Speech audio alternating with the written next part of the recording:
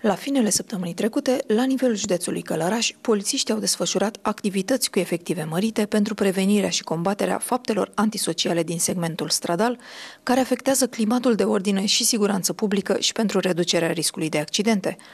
Au fost aplicate 463 de sancțiuni în valoare de peste 135.000 de lei și s-au confiscat bunuri în valoare de 833 de lei.